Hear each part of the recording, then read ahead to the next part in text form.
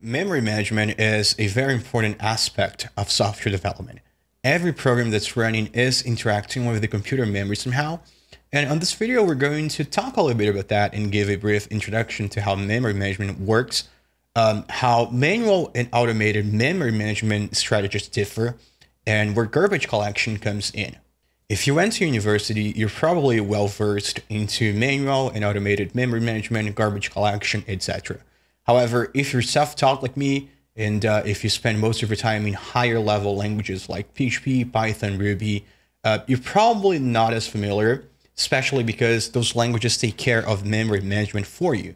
If you're writing Ruby, you don't really have to worry about requesting memory from the operating system and releasing, etc.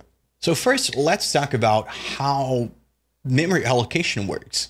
There are two ways you can allocate memory.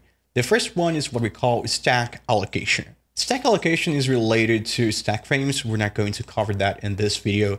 But basically, when you have a function, for example, you have a stack frame associated to the function execution, which includes it, the name, the arguments it takes, the variables that are associated with the function, and that goes into the stack memory.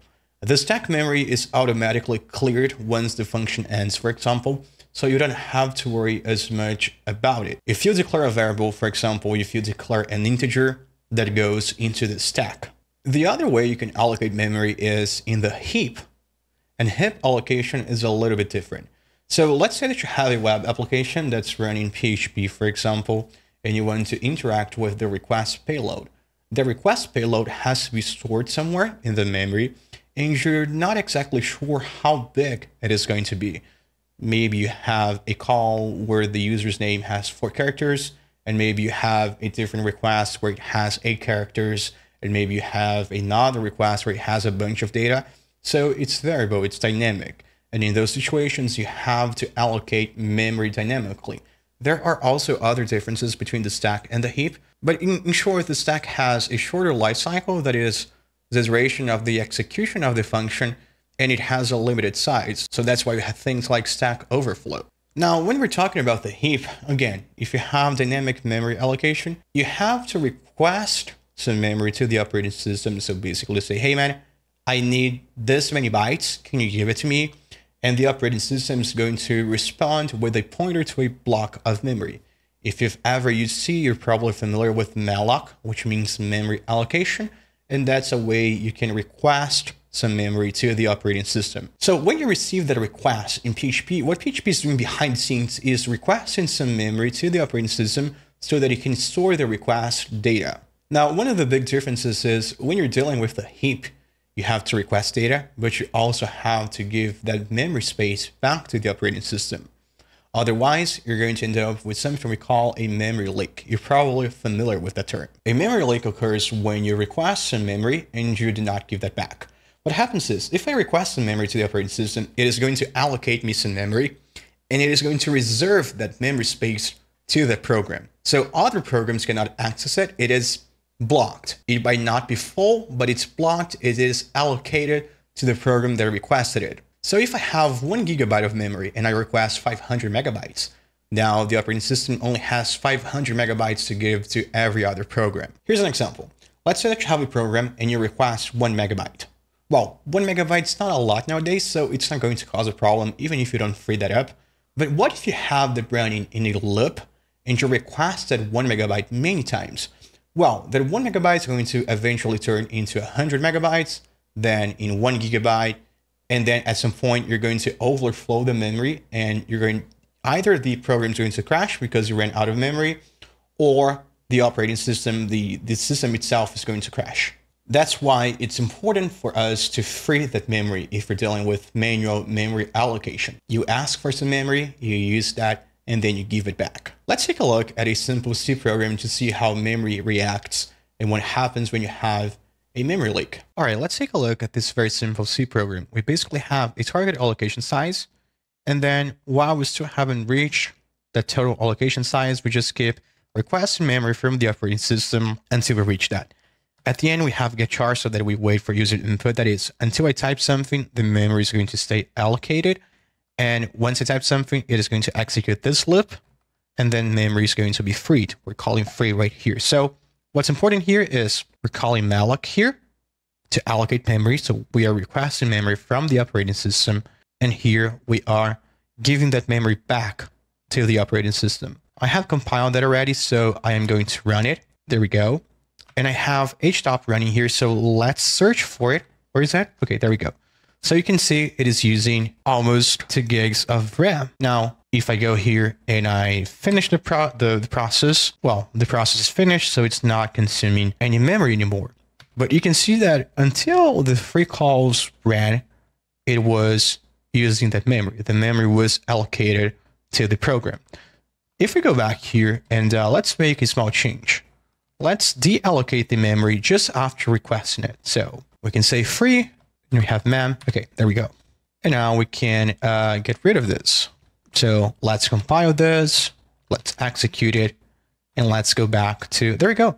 So as you can see, it's only using about 50 bytes of memory. I'm sorry, 50 kilobytes of memory, whereas it was previously using almost 2 gigs.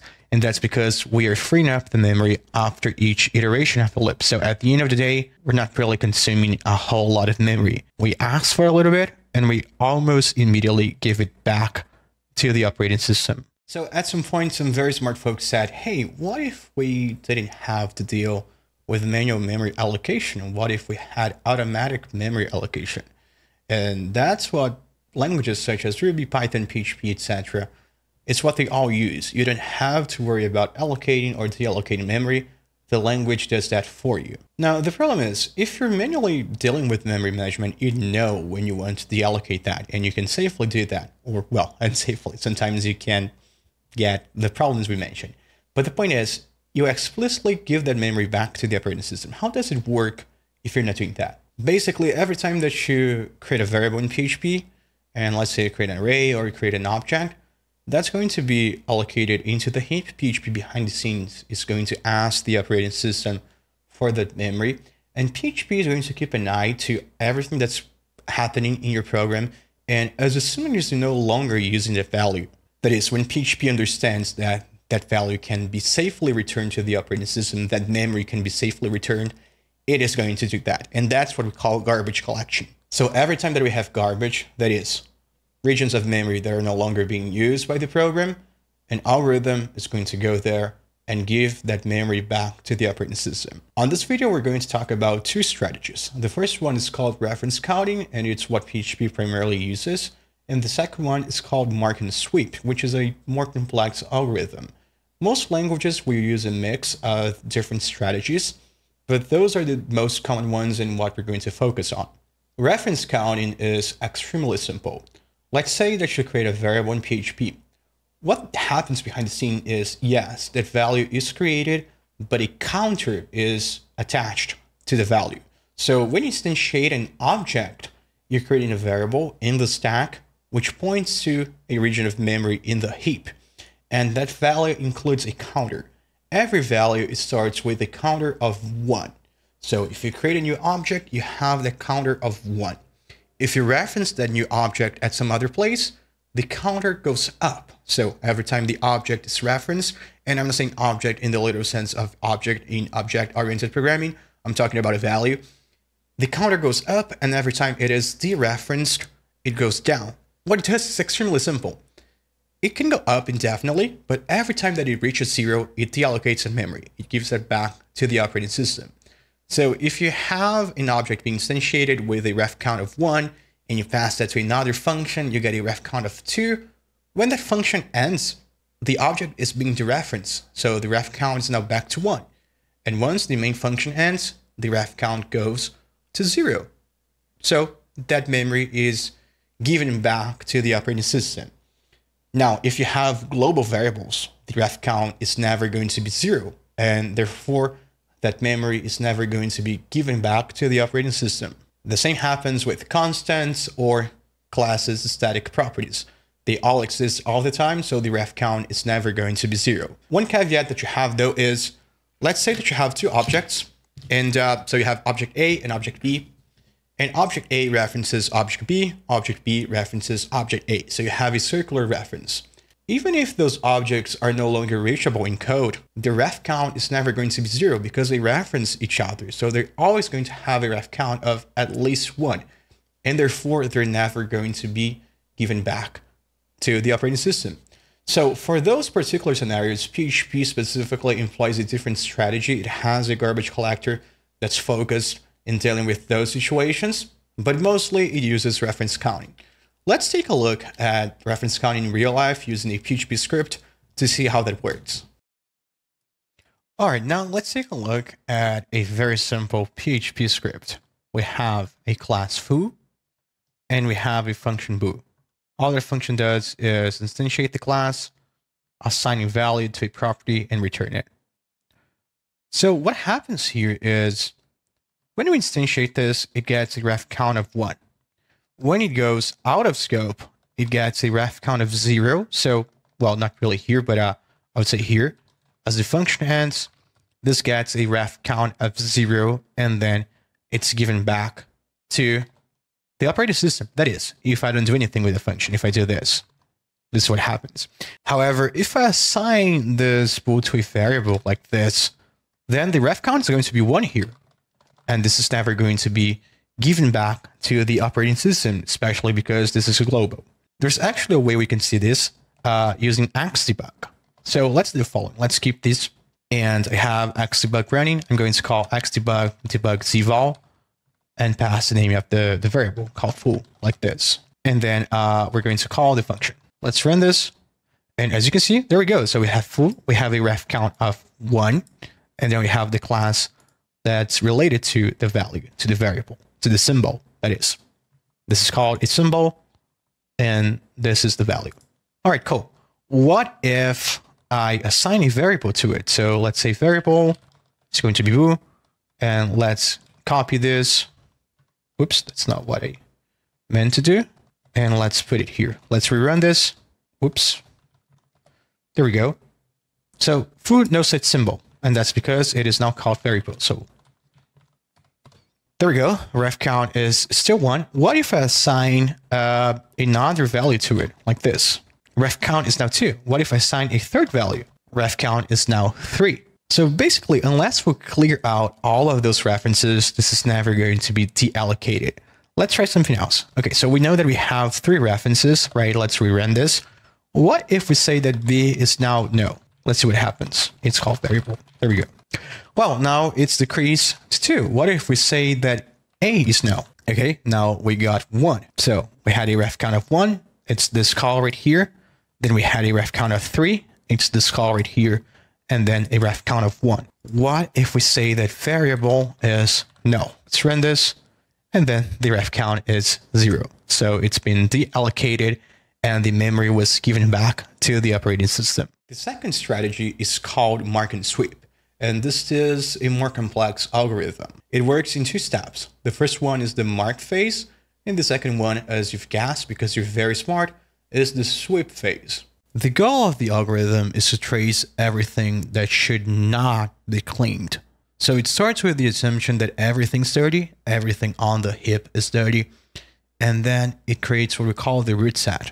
The root set is composed of the objects that are accessible in the execution context that is variables that exist within the function, global variables, class constants, etc. Everything that's in the stack. Now, from those root objects, it starts to trace all references. So what objects do those root objects reference? And it starts to build an object graph. Once it has the graph, it knows that everything that's being referenced should stay in memory because it is currently being used and it finishes the first phase, which is marking. So it marks every object that was reachable, that was referenceable. The ones that were not referenceable, that is the objects that cannot be reached from the root set, did not get marked. Once the objects are marked, it can start the sweep phase. And the sweep phase is very simple. It goes through all of the objects on the heap and it deallocates every object that is not marked. That is, every object that could not be referenced. So mark and sweep is straightforward, but it is relatively slow. One major difference that you're going to have between mark and sweep and reference counting, for example, is that reference counting runs every time that a reference counter reaches zero. So every time that something is dereferenced and they, they're no longer being referenced anywhere in the program, the memory space is going to be given back. With mark and sweep though, you the algorithm needs to run at certain moments to do the mark and the sweep phases, and that takes a while and that also stops the program. The program execution must stop for a little while so that the algorithm runs, and after it finishes, the program is resumed. So it has a very different life cycle. It doesn't run all the time, it runs every now and then, but the program must stop. Now, some very smart people were also aware of these problems and they worked in improving those algorithms, creating new garbage collection techniques such as generation garbage collection and some other things. So this is also taken care of. You don't have to worry about that. But that's kind of the gist of it. As I said, this was a very introductory video. I hope this helped you somehow. If you have any suggestions, any critiques, uh, if I said anything that's wrong, leave that in the comment box. And uh, I'll see you guys on the next video. Bye bye.